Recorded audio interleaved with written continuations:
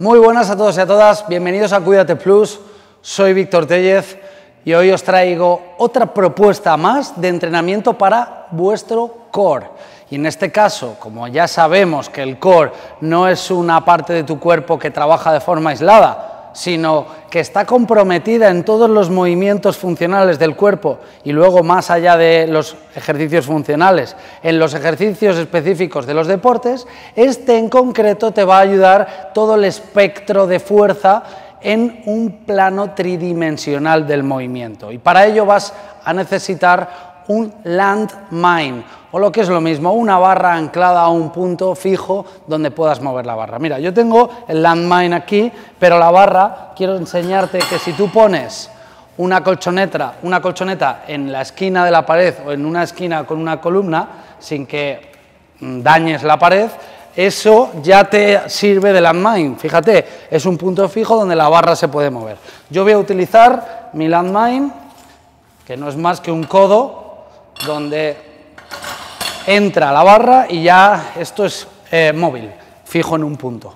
Entonces, ¿de qué trata el ejercicio? Pues tú vas a poner los pies en posición paralela, ligeramente más separada de la anchura de tus caderas, y vas a trabajar con los brazos estirados. Fíjate, si te llevas la barra hacia el lado derecho, la pierna izquierda se levanta en el talón, porque este pie supina y el otro prona. Entonces yo ahora con la espalda recta hago un pequeño impulso para mandarla al otro lado. Tenéis que dibujar círculos con la barra.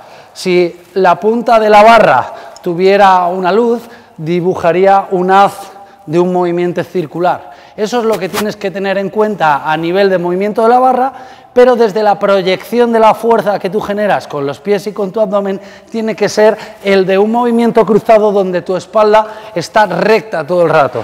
Tu pelvis, además, va a girar sobre sus caderas en todo momento y va a haber todo el rato un movimiento de flexo-extensión. Si te fijas además, las fibras de tu glúteo tienen una disposición perpendicular, por lo que cuando yo vengo a esta posición estoy estirando esas fibras del glúteo para que luego se contraigan en la dirección opuesta. El glúteo se coordina con la musculatura abdominal, este genera movimiento y la musculatura abdominal genera el antimovimiento. Por lo tanto, entre los dos propician la fuerza en ese espectro de movimiento tridimensional.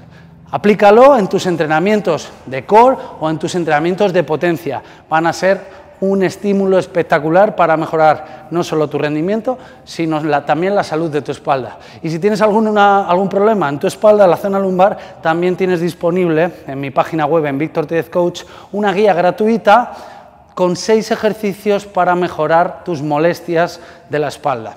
Así que métete, échale un vistazo y cualquier cosa, pues estaré encantado de contestarte a través de mi perfil de Instagram. Nos vemos.